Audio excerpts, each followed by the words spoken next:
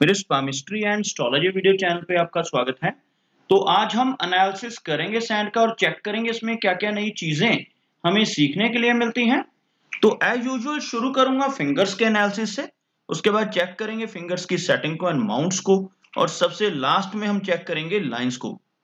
इस तरह से पूरे हैंड का जो एनालिसिस हम कंप्लीट करेंगे तो चलिए मैं शुरू करने जा रहा हूँ साथ साथ ड्रॉ करता जाऊँगा आपके लिए ताकि आपको समझने में कोई दिक्कत ना हो।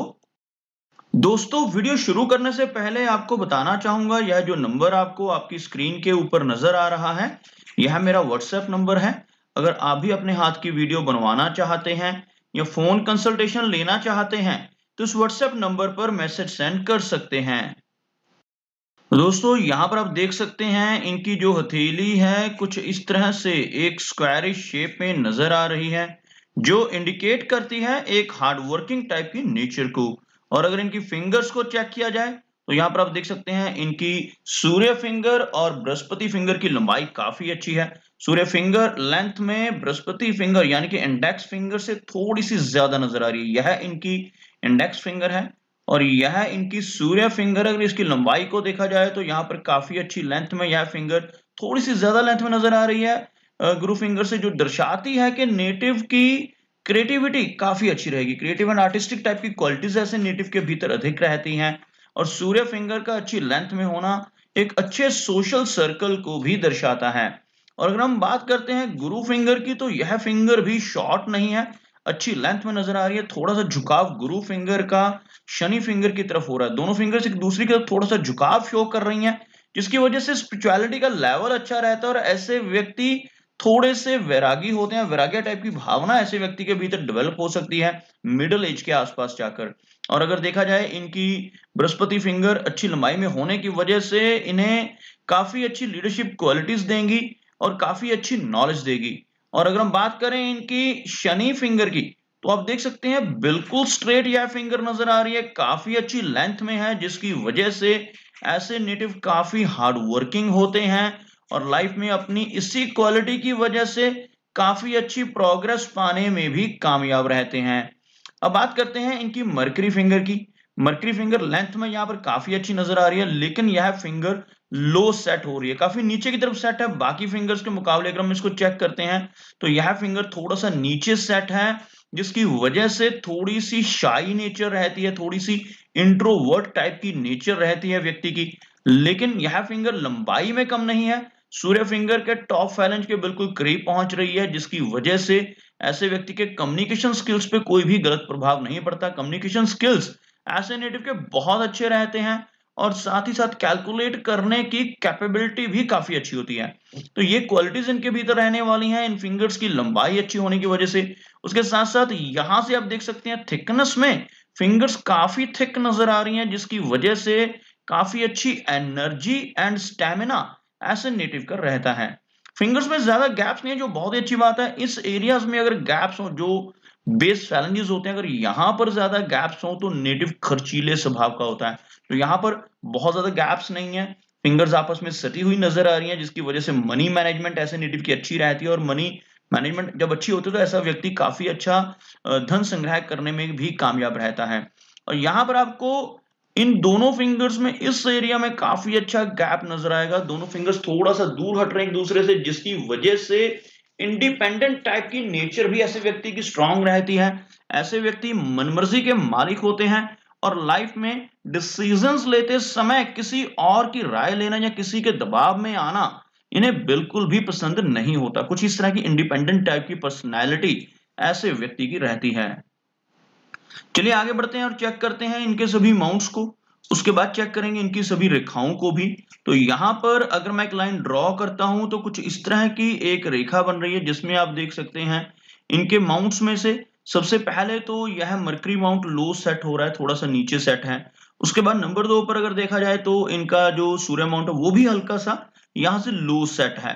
जबकि बाकी के माउंट इनका शनि माउंट और इनका गुरु माउंट थोड़े से हाई सेट नज़र आ रहे हैं इनके मुकाबले। जो मर्करी माउंट है, इसका लो सेट होना, जैसे मैंने आपको ऑलरेडी बताया, ये हमें इंट्रोवर्ट टाइप की नेचर देता है। जब ये माउंट लो सेट हो जाता है तो नेटिव बहुत ज़्यादा ओपन अप होने वाला नहीं होता, दूसरों के साथ बहुत ज़्यादा खुलकर बात करने वाला नहीं होता थोड़ा सा शाई टाइप की जो नेचर है व्यक्ति की रहती है। तो इस तरह की दिक्कतें इन्हें थोड़ा सा अपने कम्युनिकेशन में फेस करनी पड़ सकती है। अदरवाइज़ कम्युनिकेशन में कोई भी प्रॉब्लम नहीं है, क्योंकि फिंगर की लंबाई में कोई कमी नहीं है। और अगर देखा जाए तो यहाँ पर बहुत ज़्यादा लंबी मरकरी रेखा का अभाव नज़र आ रहा है। मरकरी रेखा दोस्तों बताना चाहूँगा आप लोगों को, यहाँ से अगर कोई रेखा ऐसे उठकर ऊपर की तरफ़ बढ़ रही हो, इस माउंट की तरफ़ चाहे ये बहुत ज़्यादा लंबी ना भी हो, कुछ इस तरह की रेखा ही क्यों ना हो, जो इस माउंट की तरफ़ मरकरी माउंट की तरफ़ बढ़े, इसे मरकरी रेखा कहते हैं, और अगर ऐसी रेखा किसी व्यक्ति के हाथ में होती है तो ऐसे नेटिव लाइफ में काफ़ी अच्छा बिज़नेस कर सकते हैं बिज़नेस के ज़रिए बहुत अच्छी तरक्की ऐसे व्यक्ति कर पाते हैं, क्योंकि मरकरी जो है वो बिज़नेस की समझ व्यक्ति को देते हैं। अब बात करते हैं इनके सूर्य माउंट की। सूर्य माउंट यहाँ पर हल्का सा दबता हुआ नज़र आ रहा है, थोड़ा सा लो सेट भी है, जैसे यहाँ से मैंने आपको बताया था। लेकिन थोड़ा सा दब भी रहा है। अगर सूर्य माउंट दब रहा हो, अंदर की तरफ़ थोड़ा सा धस रहा हो तो नेटिव को बहुत ज़्यादा यश नहीं मिल पाता। यश मिलने में कमी रहती है। ऐसे व्यक्ति दूसरों की कितनी भी हेल्प कर लें, कितनी भी मदद कर लें, बदले में प्रेज या रिवार्ड नहीं मिल पाता। तो यह थोड़ी सी दिक्कत आ जाती है, यश ना मिलना। और यहाँ पर सोशल सर्कल तो इनका अच्छा रहेगा, क्योंकि इनकी सूर्य फिंगर की लंबाई में कोई कमी नहीं है। लेकिन इस माउंट का हल्का सा दबना थोड़ी सी वीकनेस को इंडिकेट कर रहा है। शनि की अगर हम बात करें तो शनि भी यहाँ पर हल्का सा दबता नज़र आ रहा है इसकी वजह से हार्डवर्क लाइफ में थोड़ा सा ज़्यादा हो जाता है। इनकी पर्सनैलिटी भी हार्डवर्किंग टाइप की नज़र आ रही है और यहाँ से इस माउंट का हल्का सा अंदर की तरफ़ दबना लाइफ में मेहनत को बढ़ा देता है। लेकिन अगर भाग्य रेखा हाथ में मौजूद हो तो उस मेहनत का फल व्यक्ति को ज़रूर मिलता है। आप यहाँ पर देख सकते हैं इनके हाथ में भाग्य रेखा मौजूद है।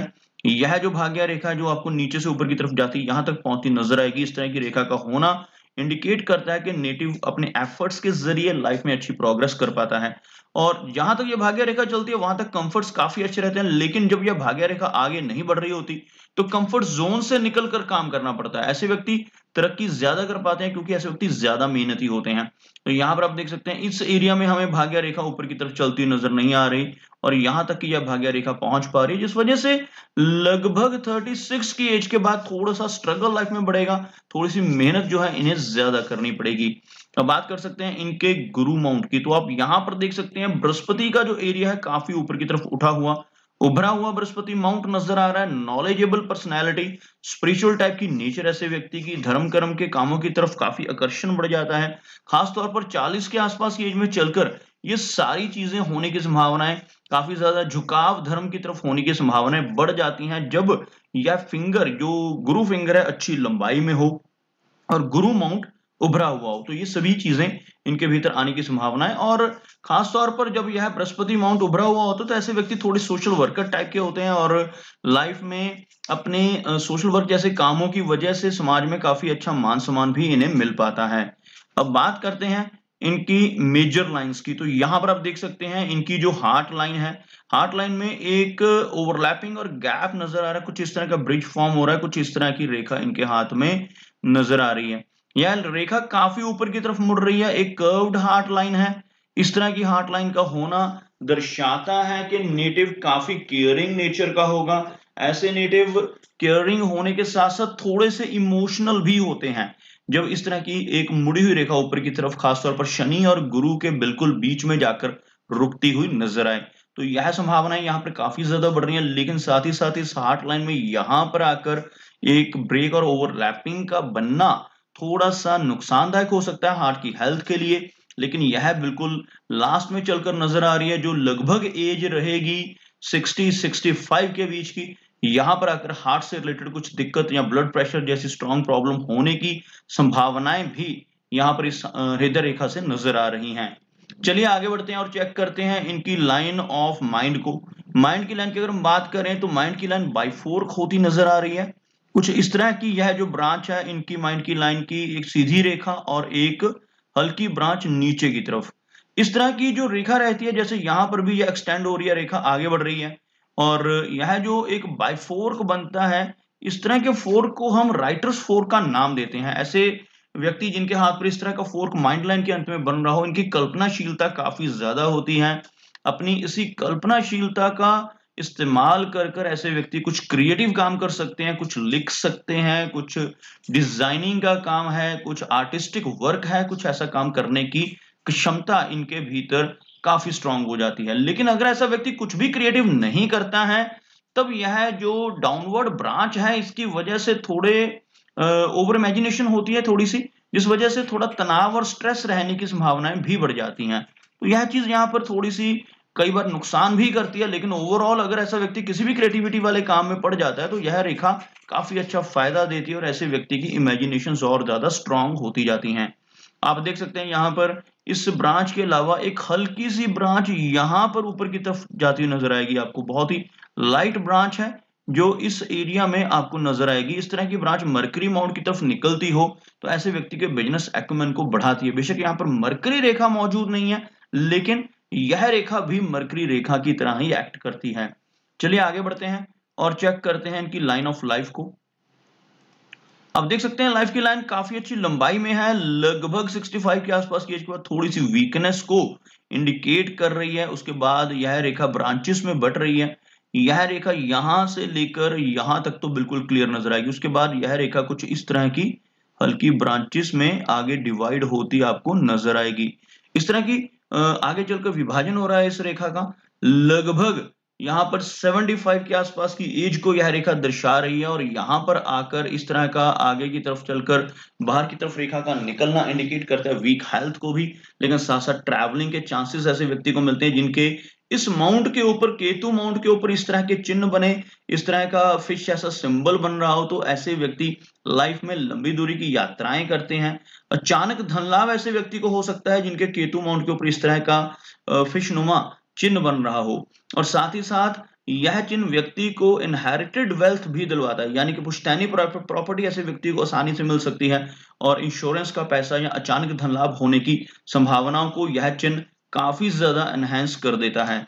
और उसके साथ साथ आप यहाँ पर देख सकते हैं, एक रेखा आपको नज़र आएगी कुछ इस तरह की, बहुत ही छोटे साइज़ की रेखा है यहाँ पर, लेकिन इस तरह की रेखा का होना बहुत भाग्यशाली होता है। इसको मंगल रेखा कहते हैं मार्स की लाइन यह रेखा अगर यहाँ पर मौजूद हो तो ऐसे व्यक्ति की एनर्जी एंड स्टेमिना अच्छा रहता है। और यह रेखा होने की वजह से ऐसा व्यक्ति अपनी लाइफ में काफ़ी अच्छी प्रॉपर्टी बना पाने में भी कामयाब रहता है। शुक्र माउंट की बात की जाए तो वीनस माउंट यहाँ पर काफ़ी प्रोमिनेंट है, उभरा हुआ वीनस माउंट जो इंडिकेट करता है थोड़े से खर्चीले स्वभाव को भी और इस तरह का माउंट होने से नेटिव को हर तरह की सुख सुविधाएँ लाइफ में ज़रूर मिल जाती हैं। और अगर हम बात करें इनके चंद्र माउंट की तो यह अमाउंट बिल्कुल क्लियर नज़र आ रहा है। यहाँ पर चंद्रमाउंट से कोई भी दिक्कत नज़र नहीं आ रही। सिर्फ़ इनकी माइंड लाइन की कुछ ब्रांचेस यहाँ पर, जैसे लाइट ब्रांच यहाँ पर नीचे की तरफ़ बढ़ रही है। और ओवर इमेजिनेशन को यह रेखाएँ दर्शाती हैं, जिस वजह से थोड़ी दिक्कत हो सकती है। लेकिन ओवरऑल चंद्रमाउंट में किसी तरह की कोई भी नेगेटिव चिन्ह ना होने की वजह से माइंड की स्टेबिलिटी बनाने में यह काफ़ी हेल्पफुल रहेगा। दोस्तों, यह कुछ एनालिसिस थे इनके हैंड के बारे में और मेरी कोशिश यही रहती है कि सभी सवालों के जवाब एक ही वीडियो के थ्रू दे पाऊँ। लेकिन फिर भी कोई ना कोई चिन्ह या सवाल रह जाता है। तो इनसे रिक्वेस्ट है कि अगर इनका कोई क्वेश्चन पेंडिंग है तो मुझे व्हाट्सएप पे मैसेज करें। मेरा वीडियो वॉच करने के लिए आपका बहुत बहुत धन्यवाद।